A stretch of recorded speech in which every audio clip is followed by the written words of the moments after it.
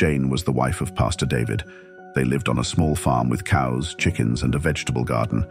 Every morning, Jane woke up before the sun to do her chores. One morning, Jane went out to the barn. She gasped. The barn door hung open. Jane clutched her chest. Did someone break in? She tiptoed inside, grabbing a pitchfork just in case. Jane peered into the stalls. The cows looked up at her with calm eyes. She breathed a sigh of relief. But then Jane noticed one of the stall doors was unlatched. Her heart raced. She walked over slowly. Behind the stall door lay a big bundle. Jane jumped back, startled. But then she looked closer. It was a person wrapped up in an old blanket. Jane set down the pitchfork and gently pulled back the blanket. A young woman's face appeared peaceful in sleep. Jane decided to let the woman rest for now. She fetched some eggs and milk from the barn to make breakfast. When she returned to the kitchen, the woman was sitting at the table.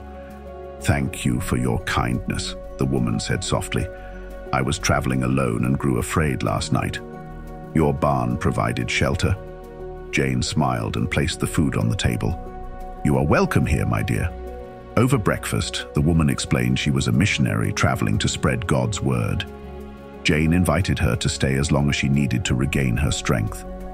Days passed, and the missionary helped Jane with her chores. Jane was touched by the woman's serene nature and strong faith. One afternoon, a slick salesman knocked at the farmhouse door, trying to peddle some fancy seeds. Jane politely declined, but he grew angry and rude. The missionary watched with a small frown. After he left, Jane sighed. I feel bad for that lost soul. The missionary put a reassuring hand on Jane's arm. Do not lose heart. We must pray for him to find his way. Later, Jane went to the barn to milk the cows. She turned the corner and screamed. The salesman was there, shoving his bags of seeds into the cow's feeding trough. Stop! You'll make them sick, Jane cried. The salesman whirled around with an ugly sneer. This'll teach you a lesson, lady. Jane backed away, frightened. Just then, the missionary appeared in the barn doorway, her presence commanding respect. Sir, you are on private property. Please leave at once.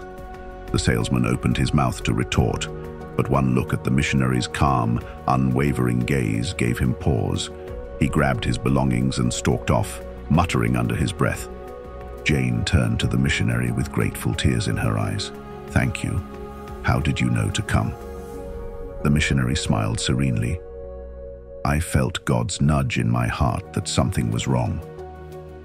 That night at bedtime, Pastor David marveled over the missionary's story to Jane. She was clearly an answer to prayer, Jane told him. I sense a heavenly light shines within her. The next morning, Jane went out to do chores as usual, but the missionary's mat in the living room was empty and neatly folded. Jane searched the entire farm, her heartbeat quickening. Where could she have gone? Jane rushed back to the house to wake Pastor David. Just then, she noticed a piece of paper on the kitchen table. A note from the missionary. Dearest Jane and Pastor, my heart overflows with gratitude for your kindness. You have renewed my faith in the inherent goodness of God's people. But now I must travel on, heeding the call to spread his light and love to others in need. Know that your compassion has made an indelible mark on my soul. Tears shone in Jane's eyes as she read the note out loud to David. Then she looked up with a radiant smile. We may never know her identity, but I believe we hosted an angel herself, sent from heaven to watch over this little farm. Thank you for watching, and see you next time for another powerful and motivational Christian story. Stay blessed.